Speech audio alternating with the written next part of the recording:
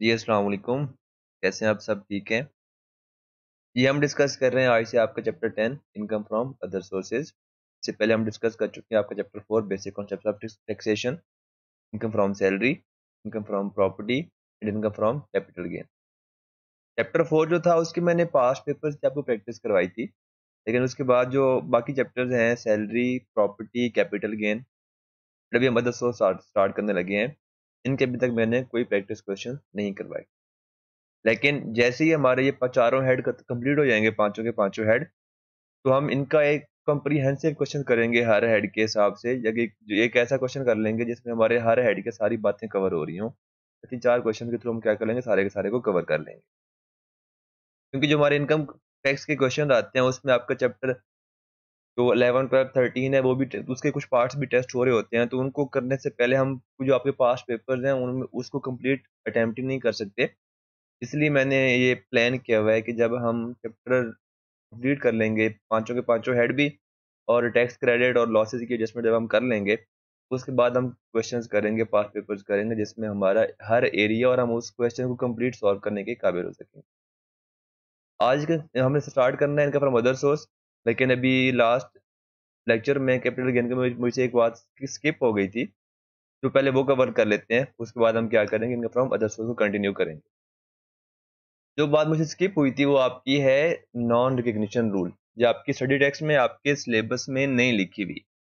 लेकिन ये एक इंपॉर्टेंट कॉन्सेप्ट है जो आपको लाजमी पता होना चाहिए, ये आपके सिलेबस का पार्ट है। ये टेस्ट भी हो चुका है एक दो दफ़ा, लेकिन ये आपकी बुक में लिखा हुआ नहीं है। तभी मैंने इसको सेपरेटली यहाँ पर लिख दिया है, आपको मैं समझा देता हूँ कि ये होता क्या है।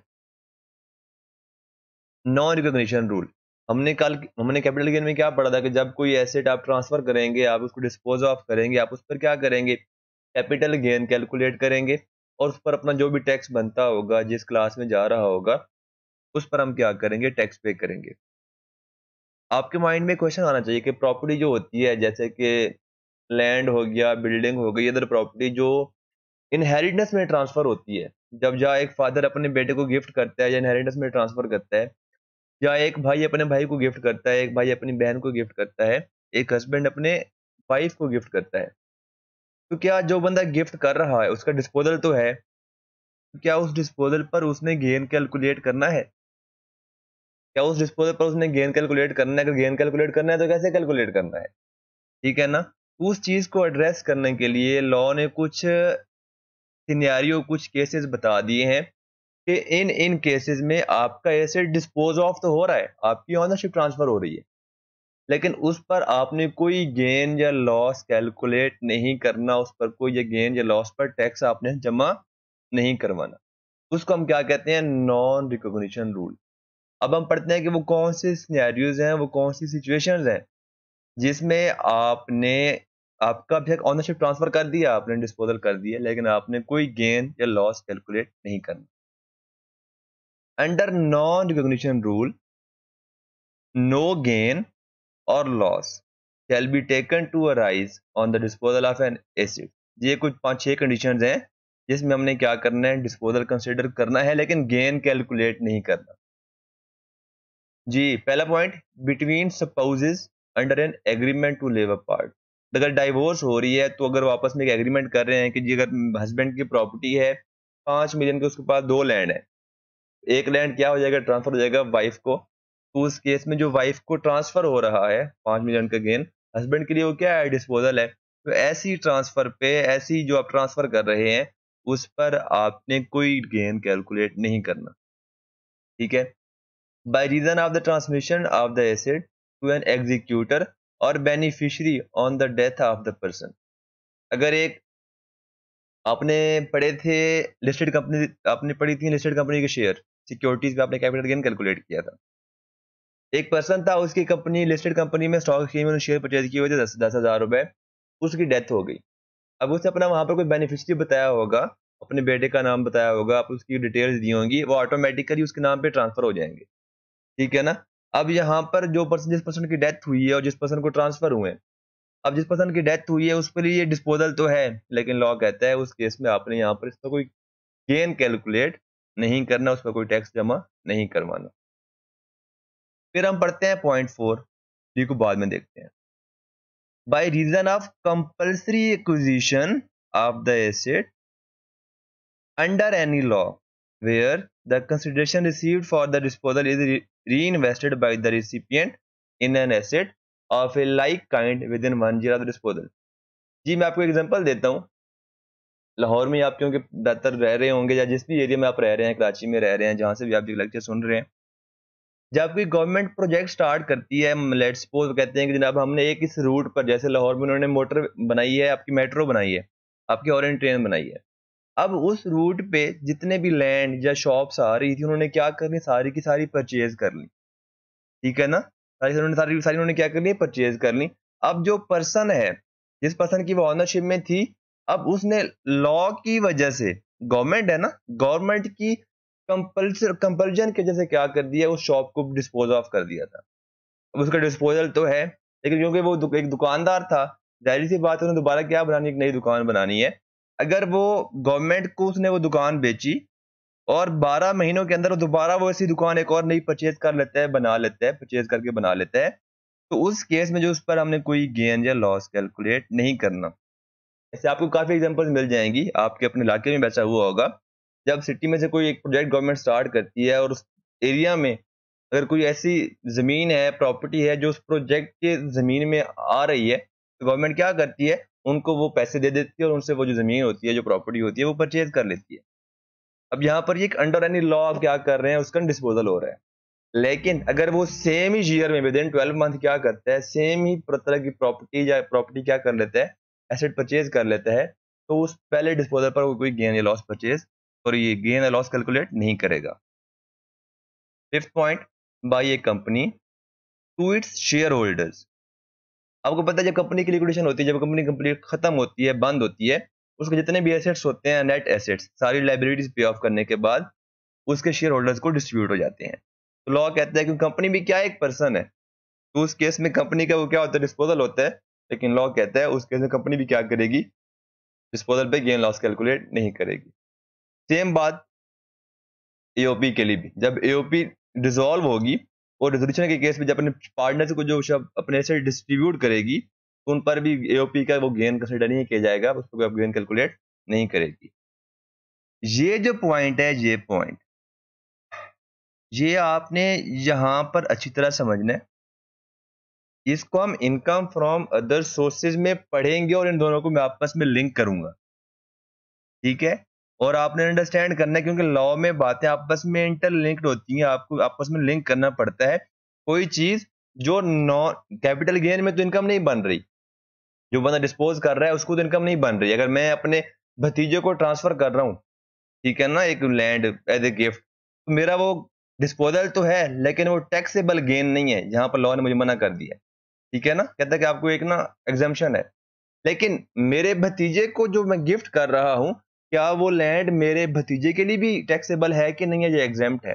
वो हम इनकम फ्रॉम अदर सोर्स में पढ़ेंगे। इन दोनों को आपने आपस में लिंक करना है और अच्छी तरह समझना है। अब देखते हैं पॉइंट थ्री क्या है। By reason of gift of the asset to a relative अगर आपने अपने किसी रिलेटिव को गिफ्ट किया है तो उस पर भी आप गेन कैलकुलेट नहीं करेंगे। भतीजा, भतीजी, भांजा, भांजी सिस्टर आपके भाई सारे आपके क्या है? रिलेटिव है, ठीक है ना? अब वहाँ पर लॉ ने रिलेटिव को भी डिफाइन कर दिया है। तो आप कहते हैं कि आप, ये ना हो कि आप अपने वो अबू के कज़न को भी क्या कह रहे हो रिलेटिव उसको मैं गिफ्ट कर रहा हूँ। नहीं।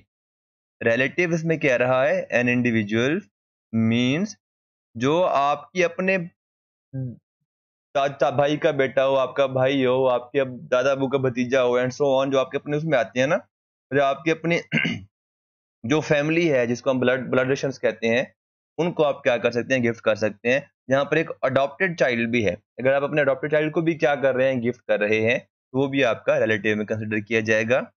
और सपोज़ ऑफ़ द इंडिविजुअल अगर एक सपोज़ अपने दूसरे सपोज़ को गिफ्ट कर रहा है, वो भी क्या आएगा, आपका इस रूल में फॉलो करेगा, उस पर आप क्या करेंगे, कोई गेन कैलकुलेट नहीं करेंगे।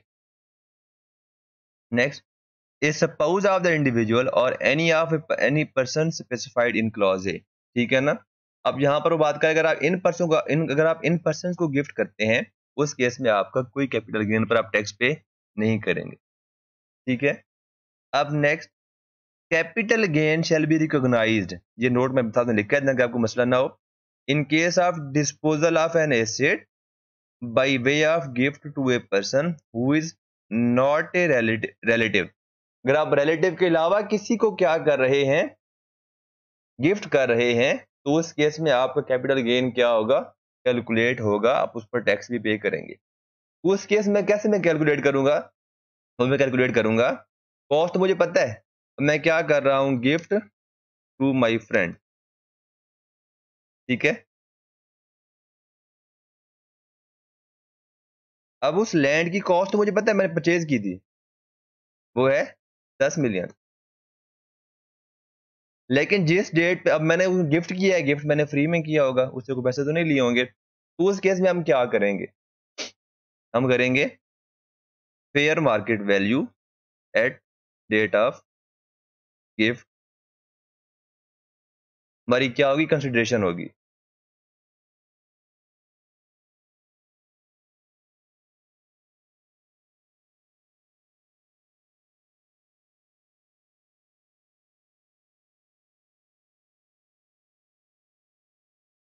ठीक है? अब मैं क्या करूँगा यहाँ पर? मैं कहता हूँ, मेरी फेयर मार्केट वैल्यू थी बारह मिलियन हालाँकि मैंने कोई रुपया भी नहीं लिया उससे मैं यहाँ पर लेस कॉस्ट क्या कर दूँगा? लेस कर दूँगा। ठीक है? मेरे पास कितना गेन आ जाएगा? टू मिलियन इस पर मैं क्या करूँगा? टैक्स पे करूँगा। अब इस पर मैं क्या निकालूँगा? होल्डिंग पीरियड देखूँगा कि मेरे पास कितना साल ये रहा था। एक साल रहा है तो हंड्रेड परसेंट टैक्सेबल है। अगर दो साल रहा है तो सेवेंटी फाइव परसेंट क्या है? टैक्सेबल है। ठीक है? अगर थ्री साल रहा है तो फिफ्टी परसेंट टैक्सेबल है। ठीक है ना? यहाँ पर अगर आपका ये इंक्रीज किया तो आपकी चीज़ें सारी क्या होती हैं? आपकी चेंज होती रहती हैं। तो इस पर आप क्या करते हैं? गिफ्ट पे गेन कैलकुलेट करते हैं। ये था आपका नॉन रिकोगशन रूल अब हम जाते हैं प्रॉपरली अपने इनकम फ्रॉम अदर सोर्स में। जी एज यूजुअल जैसे आपको मैं हर हेड के स्टार्ट में कहता हूँ कि आपने सबसे पहले ये डिटरमिन करना होता है कि आपकी इस हेड की जो इनकम है वो चार्ज किस बेसिस पर हो रही है।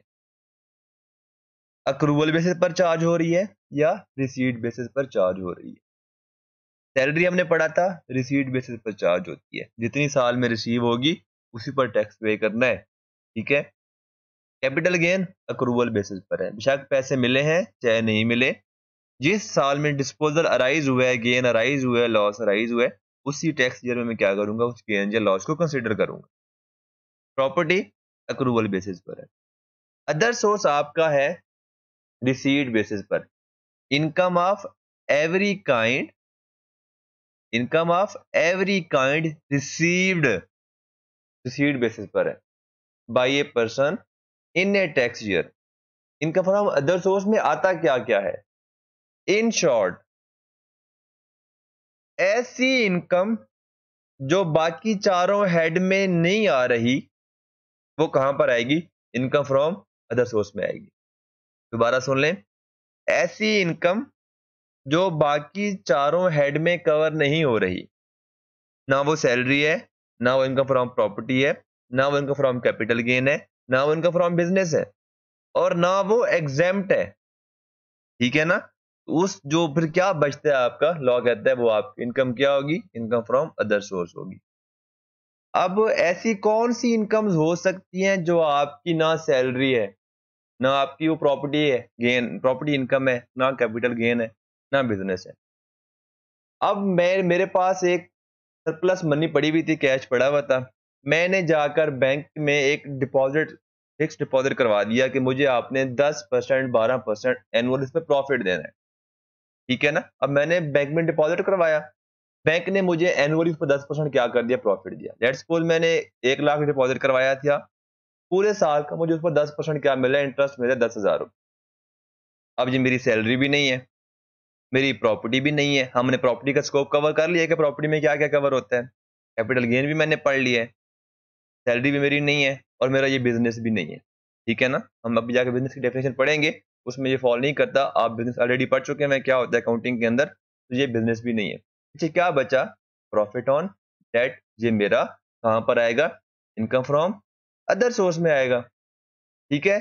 सिमिलरली और भी बहुत सारी चीज़ें होती हैं। हमने इनकम फ्रॉम प्रॉपर्टी में एक और चीज़ पढ़ी थी rent from the sub lease of land और बिल्डिंग एक थी कि मैंने एक अपनी ऑनरशिप में मेरी एक बिल्डिंग थी लैंड था, वो मैंने लीज पर दिया है रेंट पर दिया है। वो तो कवर हो गया इनकम फ्रॉम प्रॉपर्टी में। लेकिन हमने वहाँ पर पढ़ा था, मैंने बताया था अगर मैंने एक बिल्डिंग लीज पर ली है रेंट पर ली है, उसको अगर मैं फर्दर आगे सब लीज कर देता हूँ, किसी और को रेंट पर दे देता हूँ, जो मैं रेंट रिसीव कर रहा हूँ, वो मेरी प्रॉपर्टी इनकम नहीं होगी, वो मेरी अदर सोर्स इनकम होगी। ठीक है? हमने वहाँ पर एक और चीज़ भी पढ़ी थी income from the lease of any building together with plant machinery अगर वो बिल्डिंग मेरी ऑनरशिप में भी है, फिर भी अगर उसमें मैं उसको प्लांट एंड मशीनरी के साथ रेंट पर दे रहा हूँ तो पूरे का पूरा जो रेंट होगा, वो इनकम फ्रॉम अदर सोर्स में आएगा। एक और चीज़ हमने इनकम फ्रॉम प्रॉपर्टी में पढ़ी थी income from provision of amenities utilities और any other services consider with the renting of building अब ये क्या है? हमने वहाँ पर पढ़ा था कि अगर मैं एक बिल्डिंग रेंट पर दे रहा हूँ और उसके साथ साथ मैं उनको यूटिलिटी के बिल भी चार्ज कर रहा हूँ। उनको मैं सिक्योरिटी के एक्सपेंसेस भी चार्ज कर रहा हूँ। ठीक है, उनसे मैं ले रहा हूँ। तो लॉ कहता है, जो रेंट का पोर्शन है बिल्डिंग के रेंट का पोर्शन वो आपका इनकम फ्रॉम प्रॉपर्टी में जाएगा। लेकिन जो आपका यूटिलिटीज सिक्योरिटी और अदर जो आप बेनिफिट एडिशनल ले देने के लिए पैसे ले रहे हैं, वो आपका इनकम फ्रॉम अदर सोर्स में आएगा। और भी बहुत सारे एग्जांपल है वन वन सारे को डिस्कस करते हैं। जी डिविडेंड चैप्टर फोर में आपकी इसकी इसकी एक डिटेल डेफिनेशन है डिविडेंड की। वहाँ पर मैंने कहा था, इसको मैं इनकम फ्रॉम अदर सोर्स में पढ़ाऊँगा। हम यहाँ पर पढ़ेंगे, यहाँ पर भी आपकी डेफिनेशन गिवन है। इसको हम नेक्स्ट वीडियो में सेपरेट डिस्कस करेंगे डिटेल में। थोड़ी ये डिटेल डिस्कशन है। फिर आपकी है रॉयलिटी रॉयल्टी आपको पता है क्या होता है? जैसे ब्रांड्स होते हैं, वो आप अगर किसी को अपना नाम यूज़ करने के लिए देते हैं तो उससे क्या कर लेते हैं? पैसे लेते हैं रॉयल्टी के नाम से मंथली पेमेंट लेते हैं। तो उसको हम रॉयल्टी कहते हैं। वो आपकी क्या इनकम फ्रॉम अदर सोर्स है। सिमिलरली प्रॉफिट ऑन डेट इसकी भी डेफिनेशन है, थोड़ा डिटेल में हम इसको पढ़ेंगे। ये जहाँ पर आपको कवर होगा, ये देखें। ये भी हम नेक्स्ट वीडियो में डिविडेंड के साथ क्या करेंगे डिस्कस करेंगे। ठीक है? Additional payments on delayed refund under any tax law ये क्या चीज़ है? होता ये आपको पता है कि आपका अगर टैक्स एक्स्ट्रा कट जाए, आप एक्स्ट्रा पे कर दें तो गवर्नमेंट क्या करती है, आपको रिफंड कर देती है। गवर्नमेंट हम चैप्टर नंबर 14, 15 और 16 में पढ़ेंगे उसके रूल्स कि गवर्नमेंट कब रिफंड करती है गवर्नमेंट ने कितने दिनों के अंदर रिफंड करना होता है। Let suppose for example confirm date नहीं है फॉर एग्जांपल मैं कहता हूँ कि गवर्नमेंट ने जिस डेट जिस डेट पे रिफंड अप्रूव हुआ उससे 30 दिन के अंदर क्या करना है मुझे पैसे वापस करने हैं। अगर गवर्नमेंट मुझे उसे 30 दिन के अंदर पैसे वापस नहीं करती जैसे ही 30 दिन से टाइम ऊपर होगा तो मुझे जो आपका एग्जिस्टिंग मार्केट रेट होगा, उसके अकॉर्डिंगली मुझे उस पर वो मार्कअप भी पे करेगी। लेट्स सपोज़ मेरा रिफंड बनता था पचास लाख रुपए का गवर्नमेंट ने नहीं पे किया तीस दिन के अंदर। अब उसके बाद आजकल जो मार्केट रेट आई थिंक बारह परसेंट है कई बार जो चल रहा है आपका स्टेट बैंक का, जो इंटरेस्ट रेट है।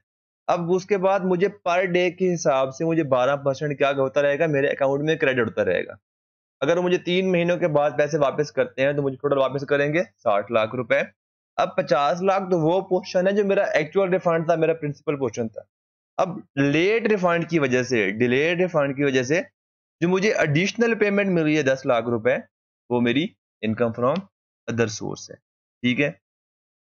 पॉइंट फाइव ग्राउंड रेंट ये ग्राउंड रेंट तो हमने कहा था लैंड का रेंट तो हमारा प्रॉपर्टी में कवर होता है। ये ग्राउंड रेंट क्या होता है? ये आपका जो आता है जब एग्रीकल्चर इनकम आपकी आती है, जिसमें आपने रेंट अपना ग्राउंड रेंट पर दिए होते हैं, वो आपके यहाँ पर होते हैं कवर होते हैं। ठीक है? पॉइंट सिक्स हमने डिस्कस कर लिया है पॉइंट सेवन भी डिस्कस कर लिया है पॉइंट एट भी डिस्कस कर लिया है पॉइंट नाइन हम ये बाद में डिस्कस करेंगे। थोड़ा डिटेल में है। आपके चैप्टर फोर्टीन में ये चीज़ इंक्लूडेड है, मैं वहाँ से इसको लिंक करके यहाँ पर पढ़ाऊँगा नेक्स्ट वीडियो में। पॉइंट टेन एनी एनुटी और पेंशन आपके माइंड में आना चाहिए। कि हमने तो इनकम फ्रॉम सैलरी में पढ़ी थी एनुटी और पेंशन। वो तो वहाँ पर सैलरी का पार्ट बनती है। यहाँ पर दोबारा क्यों बन रही है? अब पहले इसको डिस्कस करने से पहले आपको एक चीज़ पढ़ा दूँ। इनकम, ये ये पढ़ते हैं। Income which does not fall under any other head of income would fall within this heading of income ठीक है? Therefore the kinds of income elaborated above from 1 to 17 ये पॉइंट जो हमारे यहाँ पर गिवन है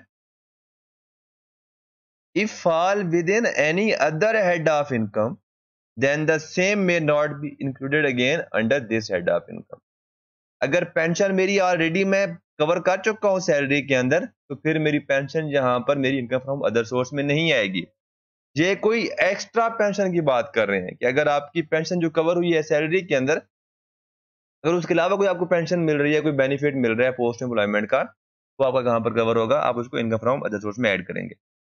कोई आपका प्राइस बॉन्ड निकल आता है, कोई आप लॉटरी विन करते हैं, ठीक है, वो आपको कहाँ पर आएगा? इनकम फ्रॉम अदर सोर्स में आएगा।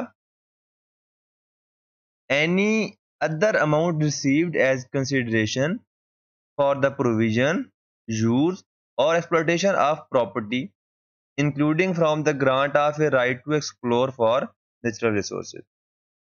अगर आपने अपनी प्रॉपर्टी दी है किसी कंपनी को, किसी इंस्टीट्यूशन को कि वो आपकी प्रॉपर्टी के ऊपर जो एक्सपेरिमेंट्स करें और उसके ऊपर क्या करें, किस चीज़ के लिए? नेचुरल रिसोर्सेज को एक्सप्लोर करने के लिए। उसके अगेंस्ट जो आपको पैसे मिल रहे होंगे, वो आपकी क्या होगी? इनकम फ्रॉम अदर सोर्स में फॉल करेगी। The fair market value of any benefit, whether convertible to money or not, received in connection with the provision, use or exploitation of property. यहाँ पर कह रहे थे अमाउंट रिसीव्ड यहाँ पर अगर आप उसके कोई ऐसी बेनिफिट मिल रहा है जो कि कैश में नहीं मिल रहा आपको काइंड में मिल रहा है तो उसकी जो फेयर मार्केट वैल्यू होगी वो आपकी क्या होगी इनकम फ्रॉम अदर सोर्स में फॉल करेगी. जी एक और चीज़. ये एक बड़ी मज़े की चीज़ है ये हम डिस्कस करते हैं ये क्या है? आपको पता है कि जब आप एक बड़ी मार्केट में, जैसे कि हाल रोड मार्केट है, हफीज सेंटर एक बड़ी, बहुत बड़ी मार्केट है आपकी लाहौर में। अगर मैं किसी शॉपकीपर के पास जाता हूँ, उसे मैं कहता हूँ कि जनाब, आप मुझे ये शॉप क्या आप खाली करके मुझे रेंट पर दे देते हैं? मैं यूज़ कर सकता हूँ इसे। वो कहते हैं जनाब, जो इसका ऑनर है, वो इसका मंथली रेंट लेता है पाँच लाख रुपए। वो तो मेरा रेंट एक्सपेंस आएगा मंथली मैं वो पेमेंट करूँगा, जो ऑनर होगा, वो इनकम फ्रॉम प्रॉपर्टी में जाएगा उस बंदे की। कहता है कि अगर आप चाहते हैं कि मैं ये शॉप खाली करूँ तो मुझे आप उस शॉप को खाली करने के लिए पचास लाख रुपए देंगे। तभी मैं ये खाली कर सकता हूँ आपके लिए। फिर आप इसको यूज़ करते रहे। ठीक है? अब जो बंदा पहले बैठा था, जहरी सी बात है, उसने भी किसी को कोई अमाउंट पे की होगी, दुकान खाली करवाने की या उधर बैठने की। रेंट के अलावा ये एडिशनल अमाउंट है। ना ये सिक्योरिटी भी नहीं होती है आप ये आपके पके पके पैसे चले चले जाते होते हैं। इसको हम पगड़ी कहते हैं, आम अल्फाज में पगड़ी। तो लॉ कहता है कि अगर ये आपकी पगड़ी आप कोई पेमेंट कर रहे हैं, अगर आप कोई जॉब जगह खाली करवाने की पेमेंट कर रहे हैं तो उस केस में आपने क्या करना है नेट करके जो आपने पैसे लिए लेट सपोज़ मेरी सेंटर में शॉप है, एक पर्सन मेरे पास आया जनाब क्या अभी शॉप खाली करते हैं, आप जगह पे मैं रेंट पर ले लेता हूँ। मैं कहता हूँ, आपका जो मेरा ऑनर है इस बिल्डिंग का, इस शॉप का, वो मंथली पाँच लाख रेंट लेता है तो आपको उससे पाँच लाख मंथली रेंट पे करना पड़ेगा। वो उस बंदे का और ऑनर का मसला है। मैं कहता हूँ, अगर आप चाहते हैं कि मैं ये दुकान खाली करूँ, आप मुझे कैश में पचास लाख रुपए देंगे तो मैं ये दुकान क्या कर दूँगा, खाली कर दूँगा। वो मान जाता है। अब जब मैंने ये शॉप ली होगी रेंट पर तो पहले भी कोई बैठा होगा जहाँ पर, उसको मैंने भी कोई पैसे दिए होंगे दुकान खाली करवाने के लेट सपोज़ मैंने उसे तीस लाख रुपए दिए थे। मैंने तीस लाख रुपए दिए थे दुकान खाली करवाने के और पचास लाख ले रहा हूँ दुकान खाली करवाने के तो लॉ कहता है, जो नेट अमाउंट है, जो नेट बेनिफिट आप ले रहे हैं बीस लाख रुपए का, उसको आपने this income shall be taxable in ten years from year of receipt in equal proportion जैसे हमने नॉन एडजस्टेबल एडवांस को टेन ईयर्स पे किया था इनकम में ऐड किया था सिमिलरली इसको भी हम टेन ईयर में क्या करेंगे? इनकम में ऐड करेंगे। इसको पढ़ते हैं। Any amount received by a person as consideration for vacating the position of a building और पार्ट देयर ऑफ़ ठीक है? Reduced by any amount paid by the person to acquire position possession of such building और part thereof जो मैंने पैसे लिए हैं दुकान खाली करने के? वो उसमें से लेस करूँगा। जो मैंने पैसे दिए थे दुकान खाली करवाने के, जो नेट बेनिफिट बचेगा, उसको मैं टेन इक्वल पार्ट्स में हर साल क्या करवाऊँगा? दस साल तक टैक्स करवाऊँगा इनकम में ऐड करूँगा। ठीक है? Point fifteen any amount received by a person from approved income payment plan और अप्रूव्ड एनुटी प्लान अगर ये आपकी अमाउंट सैलरी में कवर नहीं हो रही तो ये आपकी क्या होगी? इनकम फ्रॉम अदर सोर्स में कवर हो जाएगी। यहाँ पर आप क्या करेंगे? उस पर टैक्स पे करेंगे। एनी अमाउंट और fair market value of any property received without consideration और received as a gift other than gift received from grandparents parents spouse brother son और सिस्टर और डॉटर ये आपका लिंक कर रहा है इस पॉइंट के साथ, इस पॉइंट के साथ ये लिंक कर रहा है। जहाँ पे था ना अगर मैंने अपने भतीजे को, अपनी भांजी को, किसी को भी मैंने गिफ्ट किया है तो मेरा वो गेन नहीं है। लेकिन अगर हम यहाँ पर हैं, जो बंदा गिफ्ट रिसीव कर रहा है, वो कह रहा है, अगर मैंने गिफ्ट रिसीव किया है लेट्स सपोज़ तैफूर साहब को, उसके मामू ने एक प्लांट एक प्लाट प्लॉट गिफ्ट किया है। जिसकी फेयर मार्केट वैल्यू है दस लाख रुपए, ठीक है? अब मेरे मामू के लिए तो वो कैपिटल गेन में नहीं जाएगा, उसका एग्ज़ाम है, उसने गेन पर टैक्स पे नहीं करना।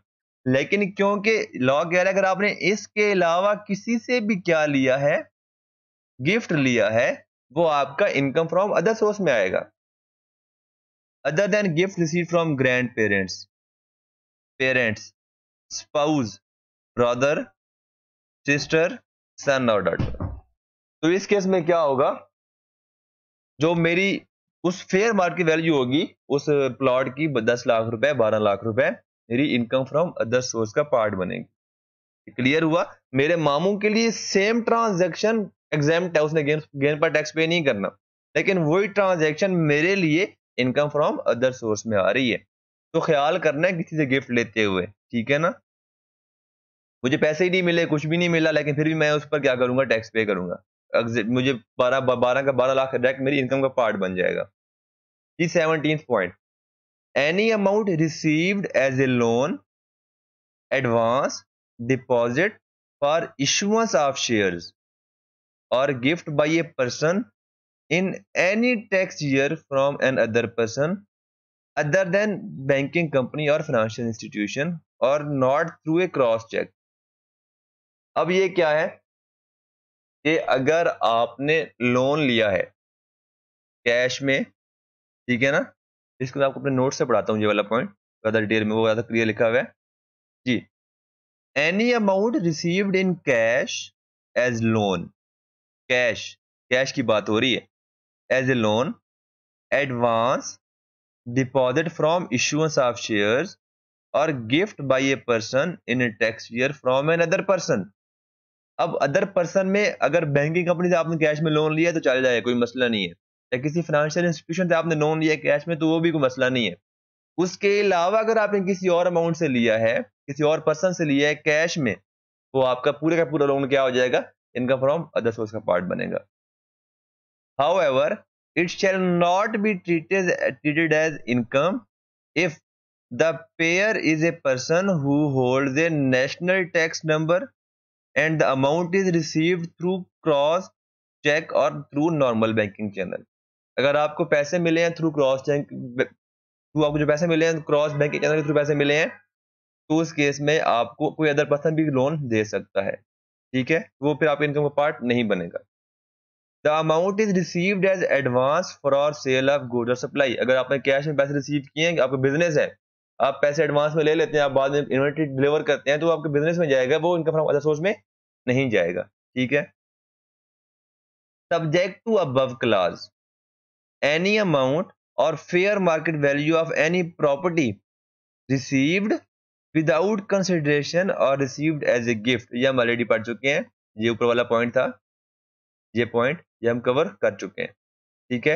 ये आपको किसमें कवर होता है? इनका फ्रॉम अदर सोर्स में कवर होता है। ठीक है? ये वाला पॉइंट भी हम क्या करेंगे? नेक्स्ट वीडियो में डिस्कस करेंगे। अब जो हमारे पॉइंट रह गए हैं, वो रहेगी आपका डिविडेंड आपका आपका प्रॉफिट ऑन डेट आपका रह गया है इनकम जीम डैश, ट्रिपल वन, एंड आपकी ये वाला पॉइंट, ठीक है? ये पैराग्राफ मैंने कवर कर लिया था, ये आपने पढ़ लेना है, बाकी इजी बात लिखी हुई है। कल ये डिविडेंड इसमें कवर हो जाएगा कल वीडियो में। फिर हमारे पास प्रॉफिट ऑन डेटा आ जाएगा, वो भी कवर हो जाएगा। ये आपकी हैं एग्जांपल्स हैं, जो मैं आपको पहले पढ़ा चुका हूँ, ये वही बातें हैं जो हमने यहाँ पर पढ़ी हैं, ठीक है ना? ये वही बातें वहाँ पर दो तीन लिखी हुई हैं। फिर हमारे पास क्या बच जाता है? एडमिजिबल डिडक्शन तो ये दो वीडियोस में हम इनकम फ्रॉम अदर सोर्स को क्या कर लेंगे? कंप्लीट कर लेंगे। फिर हम कंटिन्यू करेंगे अपना income from business okay sir thank you so much enjoy your day